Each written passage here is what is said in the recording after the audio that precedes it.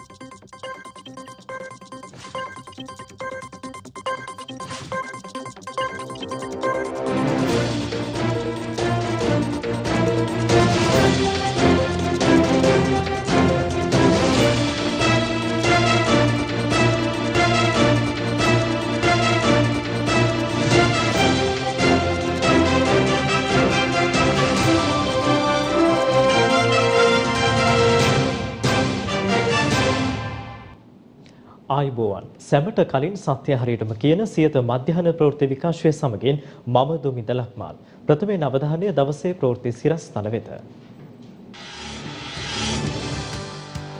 දෙදහස් විසි එක අයවැය අද පාර්ලිමේන්තුවට. ජනතාව සහන රැසක් බලාපොරොත්තුවෙන්. ආර්ථිකය ගොඩනැගීමට රජයෙන් විශේෂ සැලසුම්. කොළඹ මෙන්ම බස්නාහිර පලාතද තවදුරටත් අධි අවධානමක ජනසමාජයෙන් සහ ආයතනවලින්ද රෝගීන් වාර්තාාවන බව වෛද්‍ය සුදත් සමරවීර කියයි.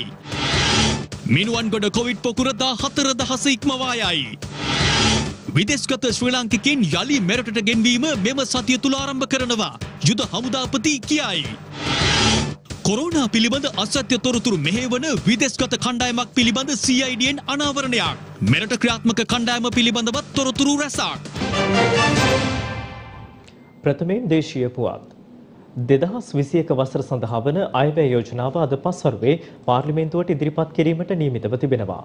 පස්වරු එකයි හතලිහට පමණ අග්‍රාමාත්‍යවරයා විසින් මෙරට හැත්තෑ පස්වන අයවැය වාර්තාව පාර්ලිමේන්තුවට ඉදිරිපත් කිරීමට නියමිත අතර ඒ සඳහා කැබිනට් අනුමැතියද හිමි වූ බව කැබිනට් ප්‍රකාශක අමාත්‍ය කෙහෙලිය රඹුක්වැල්ල මහතා ප්‍රකාශ කළා.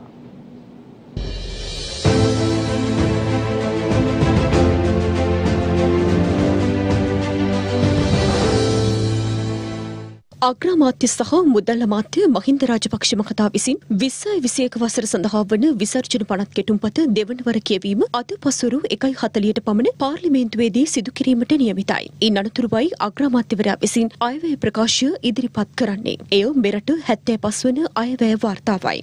දෙදහස් විසියක මුදල් වර්ෂයට අදාළව රාජ්‍ය සේවා වියදම් සඳහා රුපියල් බිලියන දෙදහස් හයිසිය හැත්තෑ අටක් වෙන් කිරීම සහ ශ්‍රී ලංකාව තුළ හෝ ඉන් බැහැරව රුපියල් බිලියන දෙදහස් නවසියක ණය සීමාවකට යටත්ව ණය ලබා ගැනීමට විසර්ජන පනත් කෙටුම්පත ඉදිරිපත් කර තිබෙනවා. අග්‍රාමාත්‍යවරයා විසින් අයවැය ඉදිරිපත් කිරීමෙන් අනතුරුව ලබන 18 වනදා සිට ලබන 21 වනදා දක්වා අයවැය දෙවන වර කියවීමේ විවාදය පැවැත්වෙන අතර දෙවන වර කියවීමට අදාළව ඡන්ද විමසීම ලබන 21 වනදා පස්වරු 5ට පැවැත්වීමට නියමිතයි. ලබන 18 වනදා සිට 20 වනදා දක්වා පාර්ලිමේන්තුව පෙරවරු 9:30 සිට පස්වරු 5:30 දක්වා පැවැත්වෙනවා. ඉන් අනතුරුව අයවැය කාරක සභා අවස්ථාව ලබන 23 තුන්වනදා සිට දෙසැම්බර් මස දහවනදා දක්වා පැවැත්වෙන අතර එදින පස්වරු පහට ඡන්ද විමසීම පැවැත්වෙනු ඇති. අයවැය ප්‍රකාශය ඉදිරිපත් කරන අද දින සියලු සෞඛ්‍ය මාර්ගෝපදේශයන්ට අනුව පාර්ලිමේන්තු රැස්වීම පැවැත්වීමට කටයුතු යොදා ඇති බව පාර්ලිමේන්තු මහලේකම් ධම්මික දසනායක මහතා ප්‍රකාශ කළා. අද දින විදේශ තානාපතිවරුන්ට සහ මුදල් අමාත්‍යංශය අවසරලත් නිලධාරීන්ට පමණක් පාර්ලිමේන්තු රැස්වීමට ආරාධනා කර ඇති අතර අයවැය ප්‍රකාශය පැවැත්වෙන කාල සීමාව තුළ කතානායක ගැලරියේ සෞඛ්‍ය ආරක්ෂිත විධිවිධානයන්ට යටත්ව ආසන පනවා තිබෙනවා. එමෙන්ම මහජන ගැලරිය සහ මාධ්‍ය ගැලරිය තව දුරටත් වසා දමා ඇති බවයි පාර්ලිමේන්තු සංනිවේදන අංශය නිවේදනය කළේ.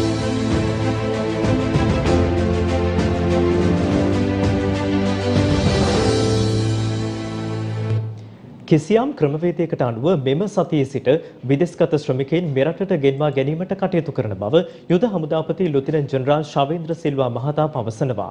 මේ අතර ඊයේ දින නව කොරෝනා ආසාදිතයින් 382 දෙනෙකු හඳුනා ගැනීමත් සමග මිනුවන්ගොඩ සහ පෑලියගොඩ කොවිඩ් පොකුරේ සමස්ත ආසාදිතයින්ගේ සංඛ්‍යාව 14000 සීමාව ඉක්මවා ගොස් තිබෙනවා. ඊයේ දිනේදී COVID-19 ආසාදිත පුද්ගලයන් 382 දෙනෙකු මෙරටින් හඳුනා ගැනීමට හැකි වුණා. ඒ අතුරින් පුද්ගලයන් 374 දෙනෙකුම දේශීයව හඳුනාගත් ආසාදිතයින් වනවා.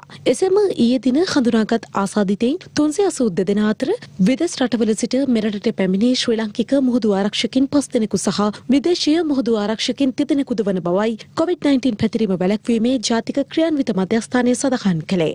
ඊයේ දිනෙත් වැඩිම COVID-19 ආසාදිතයින් සංඛ්‍යාවක් කොළඹ දිස්ත්‍රික්කෙන් වාර්තා වී තිබුණා. එම සංඛ්‍යාව දෙසිය තිස්ස එකක්. එසේම ගම්පහ දිස්ත්‍රික්කෙන් ආසාධිතයෙන් හතලිස් දෙකක් සහ කළුතර දිස්ත්‍රික්කෙන් ආසාධිතයෙන් විසක් වාර්තා වනා.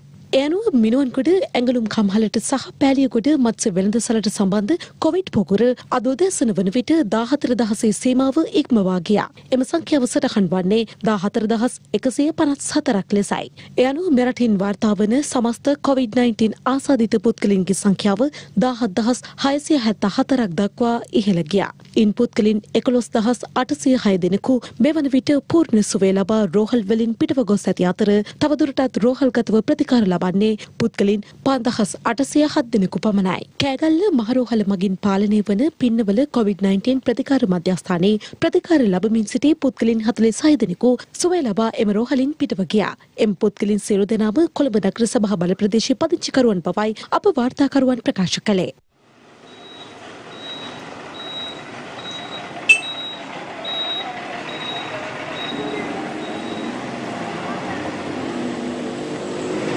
මස්කලිය සෞඛ්‍ය වෛද්‍ය නිලධාරී කාර්යාලය යටතේ පාලනය වන නෝට්‍රන් බ්‍රිජ් මිඩ්බොඩ් ප්‍රදේශයේ පදිංචිකරුවෙකුට COVID-19 වෛරසය ආසාදනය වී ඇති බව ඒ රාත්‍රී තහවුරු වී තිබෙනවා. අදාළ ආසාදිත පුද්ගලයා කැලණිය පෙටියාගොඩ ප්‍රදේශයේ සීනි ගබඩාවක කම්කරුවෙකු වශයෙන් සේවය කරමින් සිටියේදී එම ප්‍රදේශයේ සෞඛ්‍ය නිලධාරී විසින් එම ගබඩාවේ සේවය කළ සේවකින් 11 දෙනෙකු ආහඹු ලෙස PCR පරීක්ෂණයට භාජනය කර තිබෙනවා. PCR පරීක්ෂණ වාර්තාව ලැබීමට පෙර මෙම ආසාදිත පුද්ගලයා ඊයේ උදැසන කොළඹ කොටුවේ සිට හැටන් දක්වා දහවනය වන කොළඹ මධ්‍යම බස් නැවතුම්පලේ ළංගම බස් රථයකින් හැටන් බියගල දක්වා පැමිණ ඇති බවයි අප වාර්තාකරුවන් ප්‍රකාශ කළේ. දකුණු සුඩානයේ ශ්‍රී ලංකා එක්සත් ජාතීන්ගේ සංවිධානය පවත්වාගෙන යනු ලබන රෝහල සඳහා සේවය සැපීමට ශ්‍රී ලංකාවේ යුද හමුදා සහ ගුවන් හමුදා කාර්ය මණ්ඩලයේ සමාජිකයින් 84 දෙනෙකු අද දින කටුනායක ගුවන් තොටුපළින් පිටත්ව ගියා.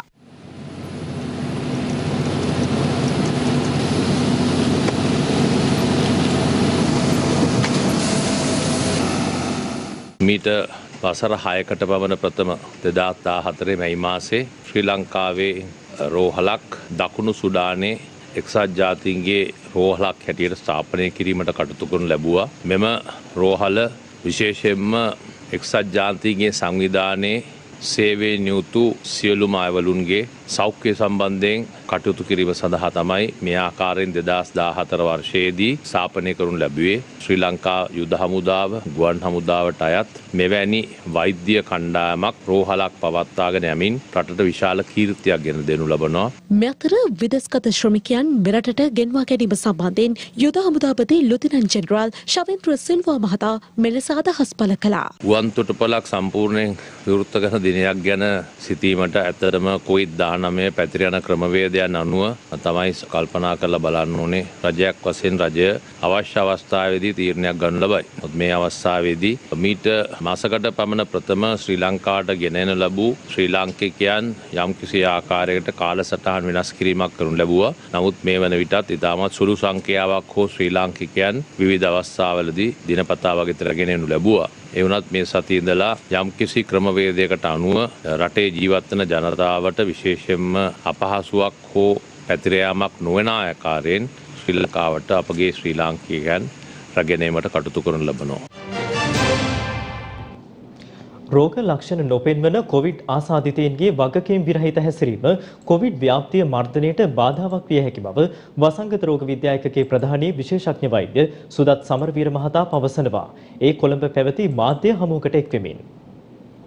කොවිD-19 නැවත නැවතත් රැල්ලක් වශයෙන් බොහෝ රටවල්වල වාර්තා වෙනවා. අපේ රට තුලත් මේ ඇති වෙලා තියෙන తত্ত্বය මේ අවස්ථාව වන විට යම්කිසි දුරකට පාලනය කර තිබුණා. කොළඹ මහනගර සභා සීමාවත් එතනින් ඔබට ගෙහින් බස්නාහිර පළාතත් යම්කිසි විදියකින් තවමත් අධික අවදානම් තත්ත්වයක පවතින්නේ. අපේ ජන සමාජය තුලින් රෝගීන් වාර්තා වෙනවා වගේම විවිධ ආයතන තුලත් රෝගීන් වාර්තා වීම යම්කිසි විදියකින් මේ පාලනය සඳහා අපිට වැඩි අවධානයක් යොමු කිරීමට සිදුවන ස්ථාන වෙනවා. ඒ නිසා සෑම ආයතන ආයතනයකටම වගකීමක් තියෙනවා. තමුන්ගේ ආයතනය තුළට COVID-19 පැතිරීම වැළැක්වීමට යම්කිසි විදියකින් ආයතනය තුළ COVID-19 රෝගීක ආසාදිතයෙක් හිටියොත් පුළුවන් හැකි ඉක්මනින් හඳුනා ගැනීමට.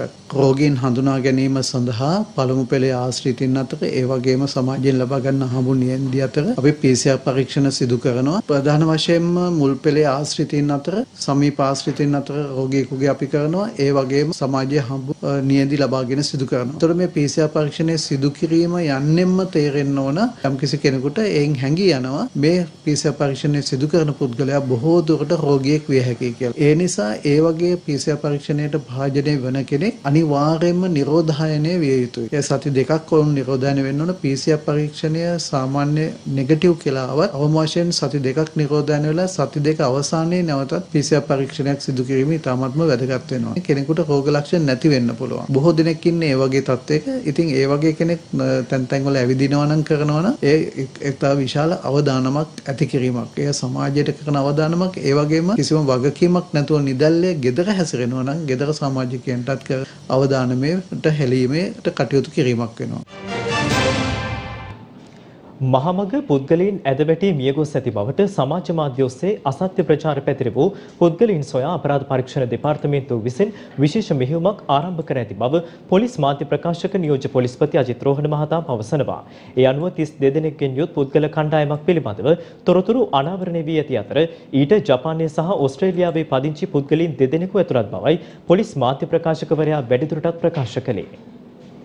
ලංකාවේ මාර්ගවල යම් යම් පුද්ගලයින් මිය යන බවට පළ කරමින් අසත්‍ය පුවත් නිර්මාණය කරමින් සංවිධානාත්මක කණ්ඩායමක් සමාජ මාධ්‍ය ජාලා හරහා ප්‍රවෘත්ති නිර්මාණය කර බෙදා හැරීමක් සිදු කරනු ලැබුවා. මේ ගැන අපරාධ පරීක්ෂණ දෙපාර්තමේන්තුව විමර්ශනයක් කළා. ඇත්තටම ලංකාවේ මහා මාර්ගයක අද මේ වන විට ලංකාවේ කොවිඩ් මරණ 61ක් පමණ වාර්තා වෙලා තිනවා. මේ 61කින් එකම එක මරණයක් පමණයි මහා මාර්ගයේ සිදුනේ. නමුත් විශාල වශයෙන් පුද්ගලයන් මාර්ගයේ ඇද වැටෙමින් මිය යන බව මේ ප්‍රවෘත්තිය සඳහන් කර තිබුණේ. අපරාධ පරීක්ෂණ දෙපාර්තමේන්තුව විසින් කරන ලද පරීක්ෂණය අනුව පුද්ගලයෝ දෙදෙනෙක් අත්අඩංගුවට ගත්තා මේ ගැන මේ ගැන තවදුරටත් විමර්ශනය කිරීමේදී පුද්ගලයන් 32 දෙනෙක් පමණ කණ්ඩායමක් විසින් මේ ආකාරයට කටයුතු කරන බවට තොරතුරු තියෙනවා. දැන් ඒ දෙදෙනෙක් හොයාගෙන තියෙනවා. එක් අයෙක් ජපානයේ විසින ශ්‍රී ලාංකිකෙක් බවට සැක කරන තැනැත්තෙක් අනිත් තැනැත්තා හෝ තැනැත්තිය ඕස්ට්‍රේලියාවේ වෙසෙන තැනැත්තෙක් දැන් ඔවුන්ගේ විස්තර අපි ලබාගෙන තියෙනවා. ජාත්‍යන්තර පොලිසියේ සහාය ලබාගෙන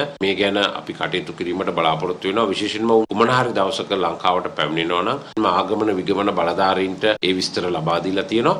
හුදකලා කිරීමේ නියෝගය කොළඹ සහ ගම්පහ දිස්ත්‍රික්කයේ පොලිස් බල ප්‍රදේශ විසි හතරක් ආශ්‍රිතව තවදුරටත් ක්‍රියාත්මකව පවතිනවා. එම පොලිස් බල ප්‍රදේශ විසි හතරෙන් හයක පිහිටා ඇති ආයතන කිහිපයක් සෞඛ්‍යාරක්ෂිත ක්‍රමවේදයන්ට අනුකූලව සාමාන්‍ය පරිදි විවෘත කර තිබෙනවා. පොලිසිය ප්‍රකාශ කරන්නේ හුදකලා කර ඇති ප්‍රදේශවල හැර කොමන ප්‍රදේශයක සංචාරය කළද නිසි සෞඛ්‍යාරක්ෂිත ක්‍රමවේද අනුගමනය කිරීම ඉතා වැදගත් බවයි. විශේෂයෙන් මුහුණු ආවරණ පැළඳීම සහ සමාජ දුරස්ථභාවය පවත්වා ගැනීම අනිවාර්ය කර ඇති අතර එය උල්ලංඝනය කරමින් කටයුතු කළ පුද්ගලයින් විසිහත් දෙනෙක් අද පෙරවරු හයින් අවසන් වූ ගත වූ පැය විසි හතරක කාලය තුළ අත්අඩංගුවට ගෙන තිබෙනවා. එමෙන්ම පසුගිය ඔක්තෝබර් තිස්වනදා සිට මේ දක්වා කාලය තුළ මුහුණු ආවරණ නොපැළඳ සමාජ දුරස්ථභාවය පවත්වා නොගනිමින් කටයුතු කළ පුද්ගලයින් දෙසිය අනූ දෙනෙක් අත්අඩංගුවට ගනු ලැබුවා. නායක සජිත් ප්‍රේමදාස මහතා තිස්ස මහාරාම උද්දකන්දර පුරාණ රජමහා විහාරස්ථානයට පැමිණ ආගමික වතාවත්වල නිරත වුණා. තිස්සමහාරාම දකුණු රණකෙලිය උද්දකන්දර පුරාණ රජමා විහාරස්ථානයට පැමිණි විපක්ෂ නායක සජිත් ප්‍රේමදාස මහතා එම විහාරාධිපති ශාමෝපාලි වංශික මහානිකායේ මල්වතු පාර්ශවයේ රුහුණු මාගම්පත්තුවේ උපප්‍රධාන සංඝනායක සද්ධර්ම කීර්ති ශ්‍රී රේවත පූජ්‍ය දෙනකම ධම්මදස්සි නාහිමියන් බැහැදැක ආශිර්වාද ලබා ගත්තා. අනතුරුව විහාරස්ථානයේ පවතින අඩුපාඩු පිළිබඳව විපක්ෂ නායකවරයා සොයා බැලුවා. නාහිමිපාණන් වහන්සේ විපක්ෂ නායක සජිත් ප්‍රේමදාස මහතාට විශේෂ ධර්ම අනුශාසන වාසනාවක්ද සිදු කරනු ලැබුවා. පසුගිය ආණ්ඩුවගත් ණය පියවන්නේ කෙසේද යන්න සම්බන්ධයෙන් පාර්ලිමේන්තුව තුළ මෙන්මයින් පිටතද සංවාදයට බඳුන් විය යුතු බව අමාත්‍ය බන්දුල ගුණවර්ධන මහතා පවසනවා. කොළඹ පැවති උත්සවයකට එක්වෙමින් අමාත්‍යවරයා මේ බව පැවසුවා. මහින්ද රාජපක්ෂයගේ යුද්ධය නිමවීමෙන් පසු මේ සමස්ත නිමවීමේ ප්‍රමාණය වැඩි වුණා. ඇමරිකානු ඩොලර් බිලියන 79 20 40 60 80 කියලා ආර්ථිකයේ පිම්මක් උඩට පැන. ඒ 80ට වැඩි වෙලා තිබුණ රටේ සමස්ත නිමවුම පස්වසන නිමවන විට වැඩි වෙලා තිබුණේ 84 දක්වා පමණයි. ඊට පසු දැවැන්ත ණය අර්බුදයකට රට ගොදුරු වෙලා තිබුණා. මහින්ද රාජපක්ෂ මුළු ආණ්ඩු කාලය තුලදීම ජාත්‍යන්තර වෙළඳපොළට ගොස් ස්වෛරීත්ව බැඳුම් කර නිකුත් කරලා ලබාගත් මුළු ණය ප්‍රමාණය ඇමරිකානු ඩොලර් බිලියන 5.5යි. පසුගිය රජයේ අවසාන මාස 18ක් තුලදී පමණක් ලබාගෙන තියෙනවා ඇමරිකානු ඩොලර් බිලියන 6.8ක්. පාර්ලිමේන්තුව තුලත් ඉන් පිටතත් සංවාදයට ලක් වී යුත්තේ මේ ගත්ත ණය කන්දරාව ගෙවන්නේ කෙසේද? කොරෝනා වෛරස ව්‍යාප්තිය පාලනය කිරීම සඳහා රජය තවමත් නිසි වැඩපිළිවෙලක් සකස් කර නොමැති බව හිටපු පාර්ලිමේන්තු මන්ත්‍රී සන්දිත් සමරසිංහ මහතා පවසනවා. ඒ කොළඹ පැවති මාධ්‍ය හමුවකට එක් වෙමින්. මේ වෛරසය පැතිරගෙන යන මේක අහඹු පරීක්ෂණ අපි හැම වෙලේම ඉල්ලා සිටියේ මේ වෛද්‍යවරුන් කියන්නේ අහඹු පරීක්ෂණ මේ රට තුර PCR පරීක්ෂණ කරන්න ඕනේ කියලා. එතකොට තමයි හඳුනා ගන්න පුළුවන් වෙන්නේ කොහෙද මේ කොරෝනා වෛරසය පැතිරලා තිබෙන්නේ කියලා. අද අපි දන්නවා මේ සමාජගත වෙලා තියෙනවා කොරෝනා වෛරසය. එම නිසාම තමයි එක එක පැති එකපාරටම වහලා දාලා ඒ පැති පරීක්ෂණ කරගෙන යන්නේ. ඉතින් මේවට යම්කිසි වැඩපිළිවෙලක් හරියාකාරව වැඩපිළිවෙලක් තිබෙන්න ඕනේ. මොකද ඒ වැඩපිළිවෙලක් නැති බව අපිට පේනවා. මොකද අපි දන්නවා සෞඛ්‍ය අමාත්‍යාංශ හිටපු මාධ්‍ය ප්‍රකාශ දොස් ජයරුවන් මහතාත් අයින් කරා මේ මාධ්‍ය ප්‍රකාශ අයින් කරලා තියෙනවා. ඊළඟට දොස්තර අනිල් ජයසිංහ ඔච්චර විශාල ක්‍රියාදාමයක් කරපු ඒ වෛද්‍යවරයාත් මේ අයින් කරා මේ සෞඛ්‍ය අමාත්‍යාංශ මොනවා හරි දෙයක් හරි දෙයක් කියාගෙන යනකොට ආණ්ඩුවට විරුද්ධ නෙමෙයි හරි දෙයක් පෙන්නගෙන යනකොට අඩුපාඩු පෙන්නනකොට ඒ ඉන්න වෛද්‍යවරුන් අයින් කරලා දමනවා. යහපාලන ආණ්ඩුවට සාපේක්ෂව ජනතාව ශක්තිමත්ව ඉදිරියට ගෙන යාමේ වැඩපිළිවෙල දියත් කිරීම සඳහා වත්මන් ආණ්ඩුවට හැකියාව ලැබී ඇති බව අමාත්‍ය රෝහිත අබේගුණවර්ධන මහතා පවසනවා. ඒ කොළඹදී මාධ්‍ය වෙත අදහස් දක්වමින්. අවුරුද්දක් අපේ ජනාධිපතිතුමා මේ රට බාරගෙන. හැබැයි අවුරුද්දම අපිට යන්න සිද්ධ වුණේ බාධක රාශියක් මැද. COVID-19 රෝගයට අපි දෙවතාවක් මුහුණ දීපු අය හැටියට අපිට මේ වගකීමත් එක්ක තමයි අපිට යන්න සිද්ධ වුණේ. එක පැත්තකින් පාර්ලිමේන්තුවක් නැතුව ජනාධිපතිතුමාට යන්න සිද්ධ වුණා. නමුත් අපි යහපාලන ආණ්ඩුවට සාපේක්ෂව බලනකොට අපිට පුළුවන්කම ලැබිලා තියෙනවා මේ රටේ ජනතාව ශක්තිමත්ව ඉදිරියට ගෙනියන වැඩපිළිවෙල ක්‍රියාත්මක කරන්න. අපි දන්නවා පහුගිය යහපාලන ආණ්ඩුව බලයේ හිටියනම් මේ COVID-19 මේ මේ තත්ත්වයෙන් බැරෑරුම් විදියට රටට එනකොට මේ රටෙන් භාගයක් මැරිලා එහෙම වුණා. ආණ්ඩුවට මේ සම්බන්ධයෙන් මෙන්න මේ දේ කළ යුතු කියලා යෝජනා කරනවා වෙනුවට ඔවුන් බලාපොරොත්තු වෙනවා ඔවුන් බොරදියේ මාළු බාන්න හදන තත්ත්වයකට පරිවර්තනය වෙලා තියෙනවා. මේ COVID-19 පුළුවන් නම් වැඩිපුර රටේ වර්ධනය කරලා ඒ තුලින් කාලකන්ණි සතුටක් ලබන්න තමයි මේ විපක්ෂය බලාපොරොත්තු වෙන්නේ. මේ COVID ගෙනල්ලා තින්නේ අපි වගේ තමයි විපක්ෂය අද කතා කරන්නේ.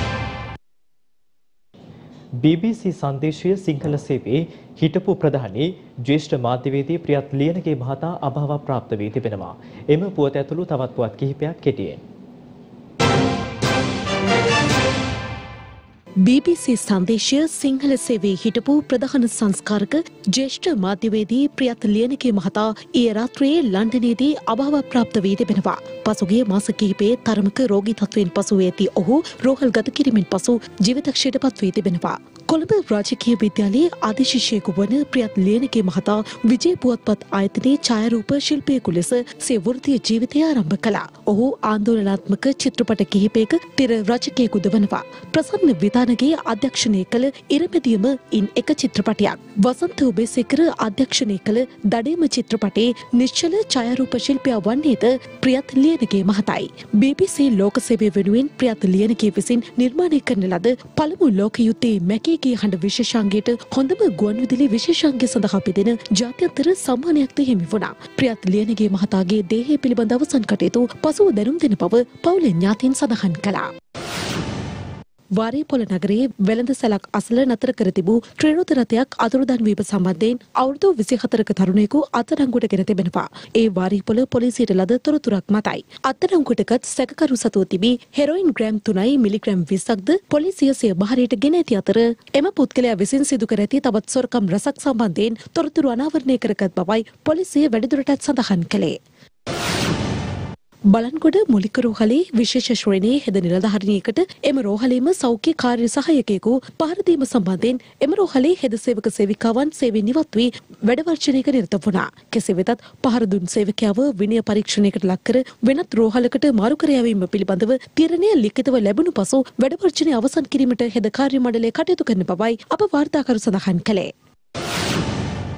තෙකලා විදුලි සැපියුම උපයෝගී කරගනිමින් පනතුර වැකඩ ප්‍රදේශයේ මහ පරිමාණ ලෙස පවත්වාගෙන ගිය නීති විරෝධී මත්පැන් ස්කාකාරයක් වටලා ඒ සම්බන්ධ ප්‍රධාන ජාවාරම්කරු අත්අඩංගුවට ගැනීමට පානතුර පොලිස් විශේෂ වැටලීම් ඒකකයේ සමත් වී තිබෙනවා. මෙලෙස අත්අඩංගුවට ගෙන ඇත්තේ පානතුර හිරණ ප්‍රදේශයේ පදිංචි 45 හැවිරිදි පුද්ගලයෙකු බවයි පොලිසිය සඳහන් කළේ.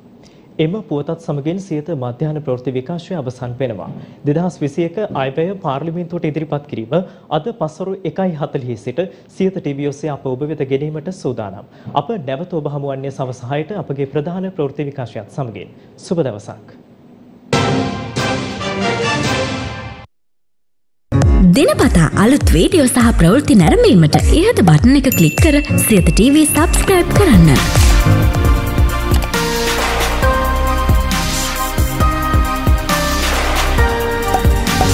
වීඩියෝ ගැන මුලින්ම දැනගන්න මෙම සීනුව කලික් කරන්න.